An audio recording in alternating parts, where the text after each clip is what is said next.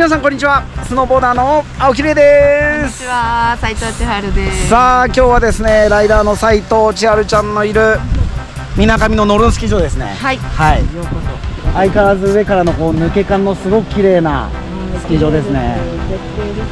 さすがに今日は富士山まで見えないですけれども。はいちょっと曇ってましたね雲残念。ないとね見えるですもんね。そうなんですよはい。富士山まで見えるんです。はい。っていう今日千春ちゃんが時間を作ってくれたので、僕の YouTube に来てくれました。ありがとうございまはい。今日はですね一緒にちょっと滑ったりとかあとはですね、はい。チャンピオンに少しおこがましいかもしれませんけれども、少し僕が知ってることを伝えて、すはい。レベルアップのお役立てができればなと思っております、はいよろしくお願いします。よろしくお願いします。お願いします。そして今日はですねウェアじゃーん僕やってます。レイズのつなぎのウェアを着てくれてます。ありがとうござい可ます。愛いです。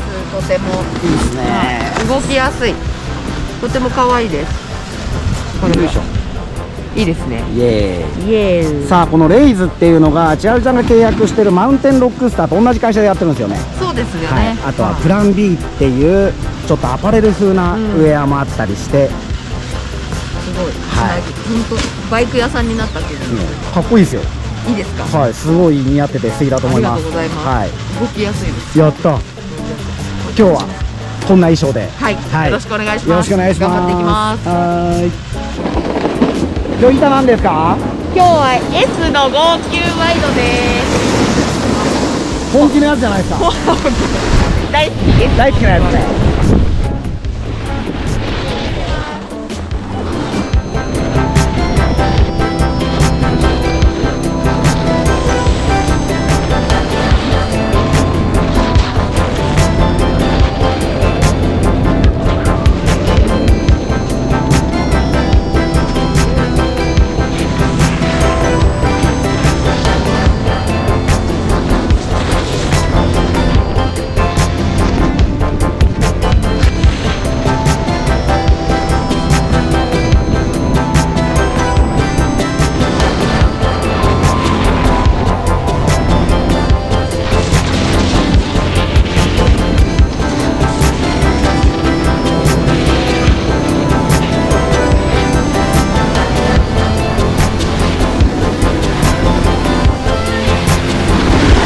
硬いね。硬い硬い氷で。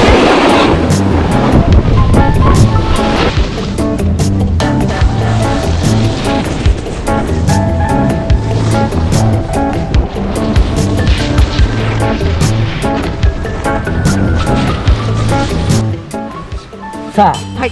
一本滑ってきましたけど、のなかなか硬かったで すね。ね。さすが、そしてね、今日実は日曜日なんですよ。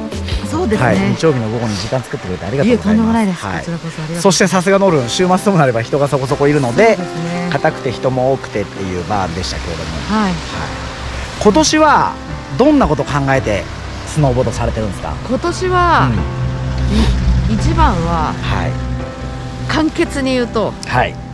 早く動くっていうことですかね。の早く動く。早く動く。なんかちっちゃくなるにしろ、うん何にしろその動き動作をこうまったり丁寧に丁寧にっていう感じがあったんですよね私的に今まで。結構丁寧にもちろん丁寧さは欲しいんですけど早く動けるようになのでなりたいなと思って。はい。取り組んでるんです。取り組んでます。はい。本当ですか？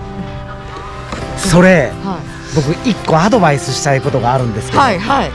こんな全日本チャンプにおこがましいいやいやいやとんでもないでアドバイスいただけるはい早く動くためにはっていうので、うん。ちょっと最近僕本当にそれちょうど考えてたことがあって、はいはい。一回それ聞いてもらって、はい。実践してもらっていいですか？あぜひお願いします。やった。さあ今日は S の159ワイド。はい。はい。セッティングは？セッティングは27の0です。お。スタンス幅54センチ。ほぼ一緒ですね。僕前足30なんでそこが3度違うだけで。うん。スタンス幅も一緒です。スタンスも54です足の27と30度はそんなに大きな差がない気がします。うんそうですね。ね後ろ足の0と3とかが違うとちょっとあるかもしれない。はい。よーし。滑ってみますか？はーい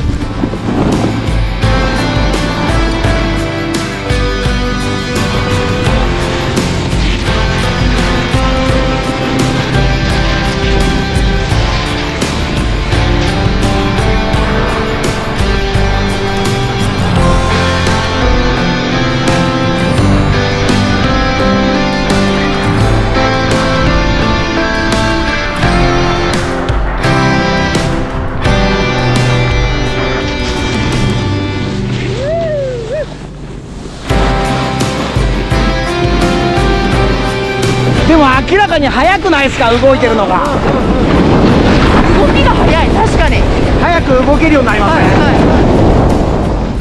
さあちょっと今シャドウあるボコボコ滑っていきましたけれども、いはい、はどうですかあのリフトの上で話した感じは？いでもいいです。なんかまたちょっと違う。早く動くうやつ、早く動けます。早く動けるしあの板に伝わるパワーみたいなものも違うし逆にまったりあのしてられないというかすごいいいです。早く動ける。確かに急斜面とかこういう感じなんだろうなっていう感じですね。結構役に立ちそうじゃないですかこれ、うんうんうんうん。で急斜面があのタイトに動けていけるのでですね。ターン入り口が本当作りやすくなったなと思ってはい自分でも思うので、確かに確かに。やったー千春さんにすごいいいものがお渡しできました。ありがとうございます。これは知ってんのと知らないのとではちょっと違うかも。これはありがとうございますいや疲れた。でもハーハーしますね。ハーハーしますけどでもいいですとても。クイックに早く動くんだもんね、うんはい。はいターンでいかに早く動くか急斜面でいかにタイトにターンするかってなったら、はいはい。やっぱりああいう動きでハーハーしますよね。そうですね。ほんと急斜面とかほんとボコボコでしんどいけど頑張れる感じがありますね。うん。いいです。ありがとうございました。ありがとうございました。さあ千春さん。はい。はい。さっきのリフトですねミドルターンで早く動くってやつ。